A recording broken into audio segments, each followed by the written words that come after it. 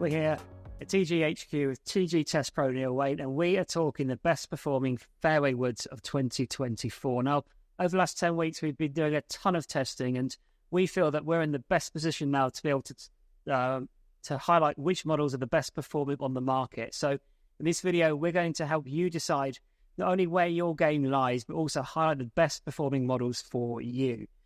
Uh, it's a pretty tough market, Neil, to know which Yeah. particular one might suit you because there's so much option out there. But very much like drivers, there's three different categories. Yeah, there's a lot of choice. You're right. So uh, generally, what you'll find is your low spinning models, your forgiving models, and you and your draw bias models. Now, generally, if you were to use a low spin drive, you would go low spin fairway. Not many using it. I know a draw bias driver and then a low spin. Yeah. A low spin fairway this combination doesn't doesn't really work. Yeah, generally, it's into these three categories. Okay, and the vast majority of players they will fit into the middle. Okay, yeah, uh, so if um, it tends to be that if you're more suited to low spin, that you tend to be a higher speed player. yeah, a good striker really as well. You, I think with the lower spin and stuff, generally they're not as high on the MOI readings all the time, so you, you get punished for a little bit more of a misses. Plus, they tend to be a little bit smaller in profile, a little bit deeper face, smaller profile footprint, and so again, not as forgiving. Okay, and a number of these models, uh, they um, are not made out of stainless steel anymore. They're made out of titanium. Yeah, Uh, so very much like a driver. yeah, Uh, but it means that you can make a pretty small head, um, pretty compact head, which is pretty forgiving. yeah, Um, you know, they are very, very expensive. yeah. Uh, so aimed at a very small audience of players. it's a niche product, isn't it? Because, like I say, I've seen them as as expensive as drivers, really. Uh, so yeah, the, that's one thing you have got to consider. Okay, so um, you would tend to find that most people that go for the draw bias uh, would tend to be people that do have a slice, Yeah. um, and tend to be slightly lower speed players.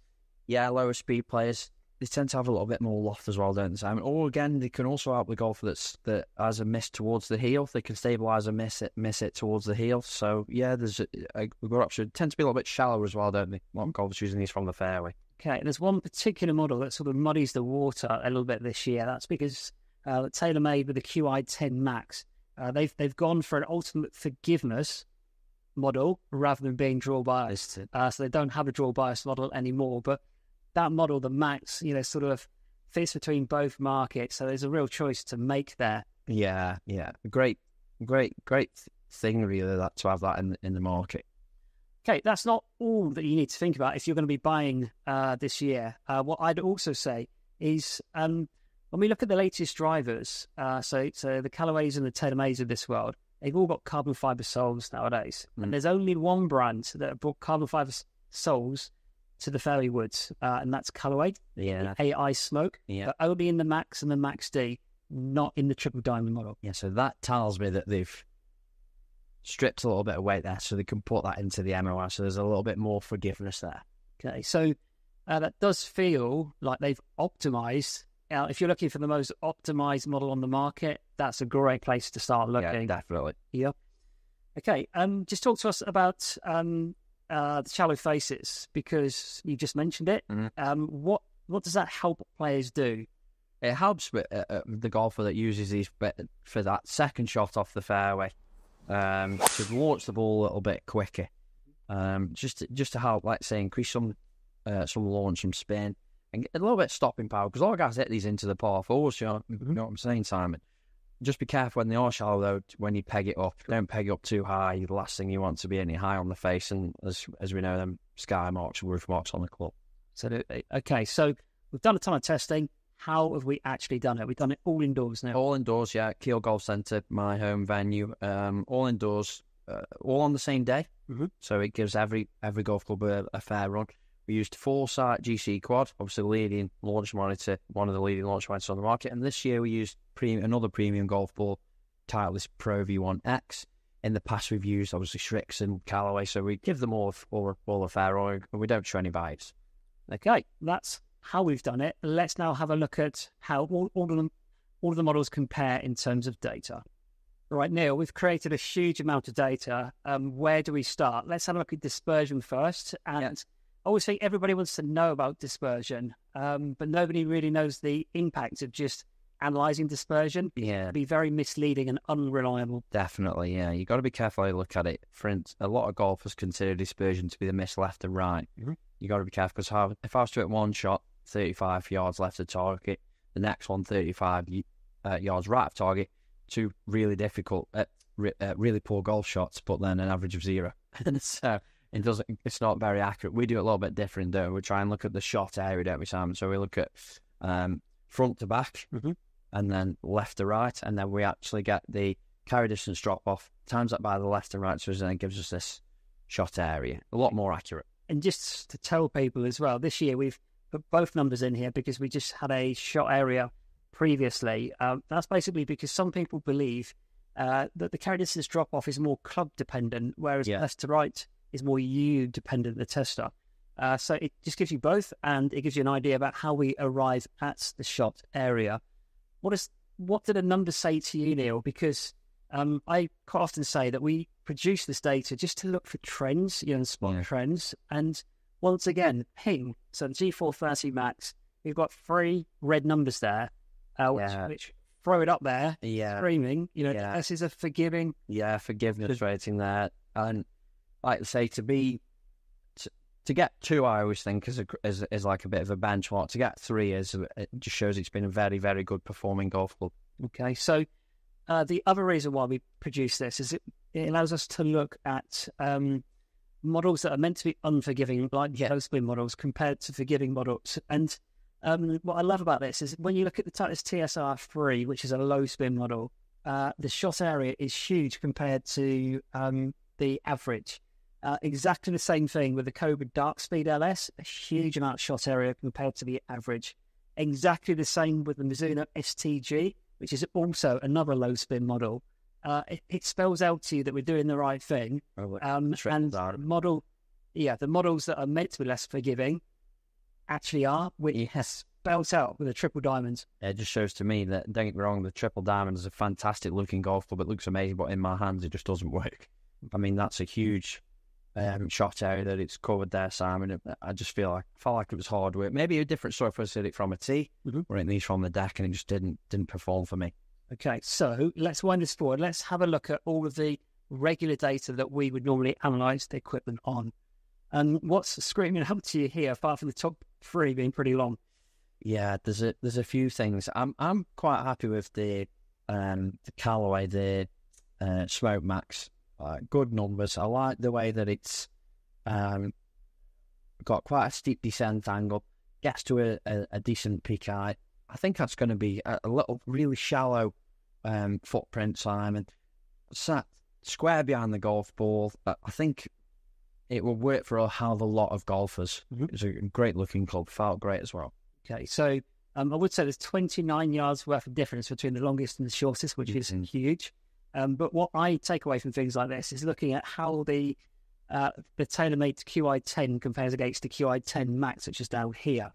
Um, so 393 RPM spin difference in favour of the Max, one yard higher, uh, 1.9 degrees steeper landing angle. So at more average speeds, Yeah. you're not going to see a huge amount of difference in carry distance Yeah, between the two. yeah, I agree, and and I think you'll even hit it in a s- slightly better shot area with the Max with uh, less speed because that shaft was a little bit soft for me. It wasn't really suited to my game on its own, but yeah, it's a great, great uh, Sam. A, a fantastic club there in the Max. And it's exactly the same thing when we look at the Callaway, so the AI Smoke Max against the TD. Now, it just gives you an idea about what the club heads are doing um, to make them low spin more. I think the forgiving models, uh, the forgiving models are the, are the way to go for a, a huge percentage of golfers. I think if you go to the low spin, if you if you're looking to hit these from a tee, a little bit shallower descent, a bit more ball speed, then yeah, you can potentially look at your low spin options. But if you're looking for that um, high floaty ball flight into the with some stopping power into your greens, into the those long par fours, the par threes, your low spin options aren't going to be the one for a lot the majority of golfers, Simon. And that's exactly why the brands make three different models, so you can pick and choose Yeah. which which um, would most suit your game. So that's all the data. These are the models that we've picked out as the top performers for this year. Starting over here, Neil, uh, the Cobra Darkspeed X. in my opinion, not for very slow swing speed players. Yeah, I As agree. long as you've got some speed. Yeah, I think if you've not got um, not got much speed, you need to look at one of the other models in the in the co range. But for if you've got some speed, great performing off. Uh, what I like about it, Simon, is it's just um, the looks of it. Just not a lot going on. Traditional, nice. Fussy is Yeah, un- yeah, good. That's a good word. Um, I just feel like there's not a lot going on at at, at address, but uh, so it, it again it ticks it ticks the boxes, doesn't it, for performance? Yeah. So a really, really good option as long as you've got some speed. If you're looking for ultimate forgiveness, I really do feel there's some better options out there, but we'll cover those off in a second. Um, so the TaylorMade Qi10, Yeah. uh, they they make some fast and long fairway. every year, don't they? And Taylor made them credit to them. Fairway Woods and Highland. You're looking for speed and pure speed and distance. You can't you can't not test that golf club. Um, 11.3 yards longer than our test average. Yeah, that's that's huge, isn't it? and and it's not like the head is very, very small. It's quite a wide body. Mm, yeah, yeah, Good looking head. yeah, definitely. Especially when golfers are going to hit these from the deck. Mhm. That's where where it's are going to see your, your big differences. I think. Okay, moving on to the Callaway. Um, in my little head, it's almost like it's just a one model uh, that suits the most amount of people. Yeah, suits a huge audience. Yeah, I, well, I've ordered this myself. Mhm. So, um, there's what I like like about it is that straight away, boof, straight up in the air, look like um, high with the peak eye, steep descent angle, loads of stopping power, forgiving, shallow. I like that shallow footprint, especially when the uh, uh, when the golf ball's on the deck. Okay, I found it really, really easy to launch high and long Yeah. as well. Um, moving on then to the PXG. Uh, if you're looking for ultimate forgiveness, ultimate playability, this is the end that we really want to be looking. Yeah, definitely, definitely, Simon. Again, felt like it was going to launch quick. And, um, nice footprint behind the golf ball. I also like the sound and the feel of the of the PXG. Got a great, uh, colour, and, and then I like the idea of these these two backweights again to keep that MOI up. Get that. Let's get that golf ball launching. Make it as forgiving as we can. Okay, and it launched, its span, and the shot height were all higher than average, um, and the landing angle was also steeper. So when you're hitting those long approaches, the ball's going to stop. Yeah, which is what we'd want to see. Okay, TaylorMade Qi10 Max. I'm not sure that we really um, often have two products from the same brand as winners in the same category. Uh, but this year, it just feels like TaylorMade have ripped up the rulebook and Yeah. completely and utterly changed what we're doing. Yeah, Um, and for the better though, really, haven't they, Sarah? I think, I say the shot area, like, I- like I touched on before, I think that's going to be tighter for the golf that's got a little bit less speed. I mean, I felt a little bit soft for me, the club shaft. But what a performing golfer, really straight away, straight up in the air, um, uh, launch quick, steep with the descent angle. Just feels like it's got that workability for all standard of golfer from what I can see. Okay, just to put that into numbers, um, from one degree weaker off than most of the models that we tested, it was the seventh longest model, but produced two miles an hour more ball speed and 4.3 yards more carry than our average. Uh, for a model that's just meant to be easy launch, uh, it's not just easy launch, but powerful. Yeah, which is very, very difficult, doesn't it, Simon, to get the best, best of both worlds. Normally you would find power, less loft, but like shallow descent angle, not much of a peak out. I feel like you've got best of both worlds, and that's why they both got to be in here. I think that speed works great, So, slower speed, even better. absolutely brilliant. Okay, there's a ton of information there. If you've liked the video, hit the like and subscribe button. And if you've got any comments or questions, leave them below, and we promise to answer every single sensible one. We'll see you next time.